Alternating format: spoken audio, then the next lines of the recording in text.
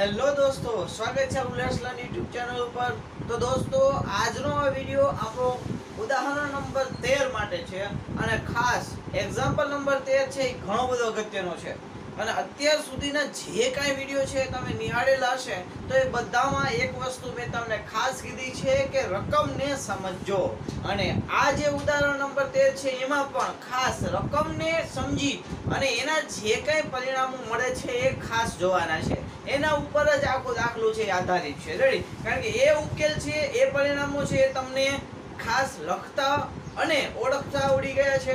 Ready તો ઉદાહરણ number તેર છે, એ સૌથી સહેલામાં સહેલો છે. ચલો આપણે જોઈએ ઉદાહરણ નંબર તેર. અને જો વિદ્યાર્થી મિત્રો તમે આ ચેનલ ઉપર નવા હોય તો પ્લીઝ વિડીયોને લાઇક કરજો. ચેનલને સબસ્ક્રાઇબ કરવાનું ભૂલતા નહીં અને આ વિડીયોને તમારા મિત્રો સાથે શેર જરૂરથી કરજો. ચલો જોઈએ આપણે એક્ઝામ્પલ નંબર 13 એક્ઝામ્પલ નંબર 13 છે એની રકમ તમે ખાસ પહેલા તો જે છે સ્ક્રીન ઉપર જોઈ શકો છો અને ધ્યાનથી વાંચો. ત્યાર પછી આપણે જે છે, આ જે મેં પરિણામો લખ્યા છે, એના ઉપર આપણે જઈએ. તો એમાં શું કે છે? એક ભૂરો અને એક રાખોડી એમ બે પાસાને એક સાથે ઉછાળવામાં આવે છે. હવે રંગ કયો છે, એનાથી કાંઈ મતલબ નથી. રેડી, પરંતુ બે પાસાઓ છે એને એકી સાથે આપણે ઉછાળવાના છે. અને જ્યારે તમે બે પાસાને એકી સાથે ઉછાળો, તો તમને ખબર છે કે કોઈ પણ એક પાસો છે, એમાં એકથી લઈને છ સુધીના અંકો હોય.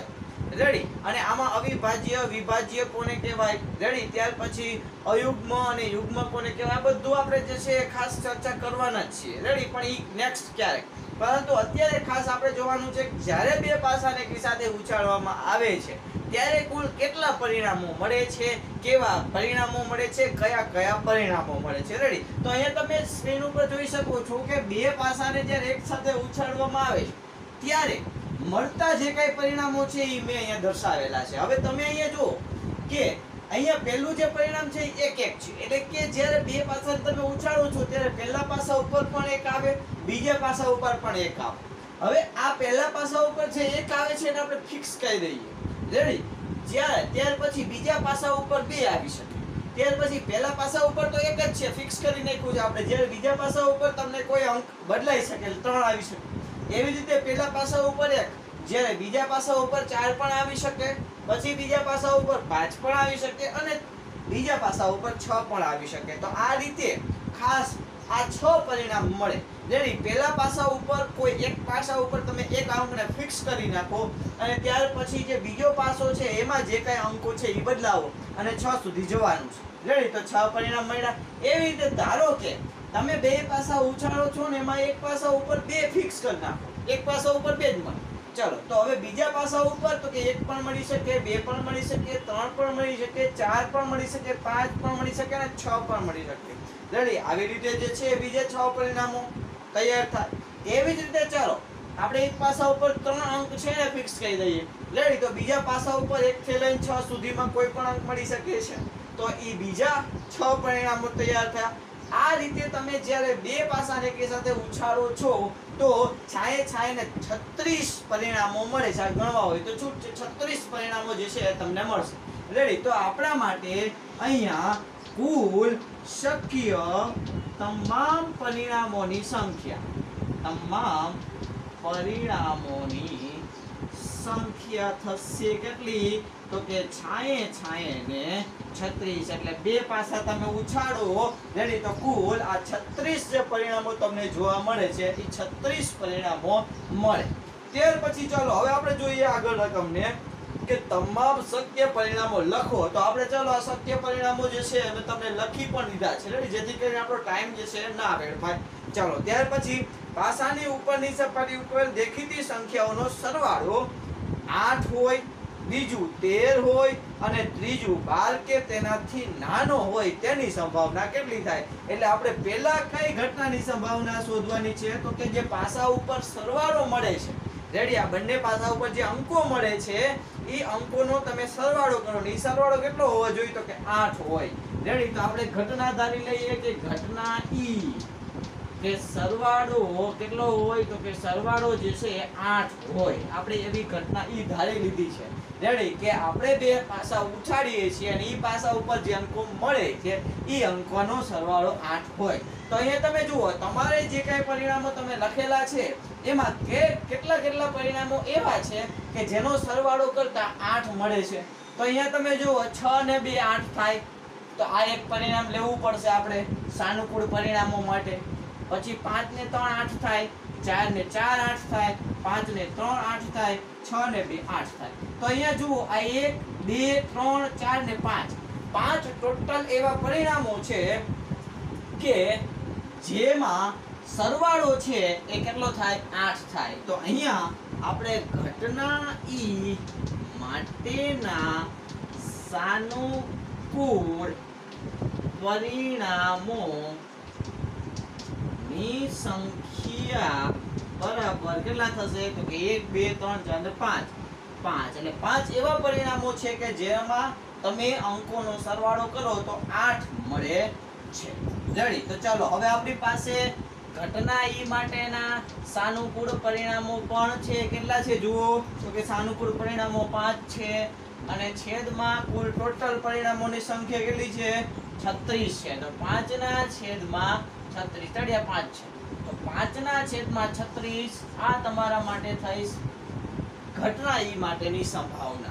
એટલે કે સરવાળો આઠ મળે એના માટેની સંભાવના. ચલો, ત્યાર પછી આપણે બીજું શોધીએ. ચાલો, હવે ઘટના ધારો એફ ઘટના એફ કયો સરવાળો થવો જોઈએ? તો કે સરવાળો તેર હોય. સરવાળો જે છે એ તેર હોય. એવું કીધું છે ને? તો અહીંયા જુઓ. કોઈ એવું પરિણામ છે કે જેમાં બે અંકો મળે છે એનો સરવાળો કરતા તેર મળે? તો નથી, અહીંયા જુઓ, છ ને છ. બાર જ થશે, બાકી તેર તો થશે જ નહીં. તો એનો મતલબ એવો છે કે ઘટના એફ છે એ શક્ય જ નથી, અશક્ય થઈ ગઈ. રેડી તો ઘટના એફ માટેના સાનુકૂળ પરિણામો ઝીરો થશે. ઘટના એફ માટેના સાનુકૂળ પરિણામો ની સંખ્યા બરાબર, શું થશે? તો કે શૂન્ય, કારણ કે શક્ય જ નથી. તેર કોઈ દિવસ આવે જ નહીં સરવાળો. રેડી તો માટે તેથી ટી ઓફ એફ ઘટના એફ માટેની સંભાવના બરાબર. 0 ના છેદમાં 36 એટલે કેટલા થાય? શૂન્ય. રેડી તો ઘટના f માટેની જે કઈ સંભાવના છે એ કેવી છે?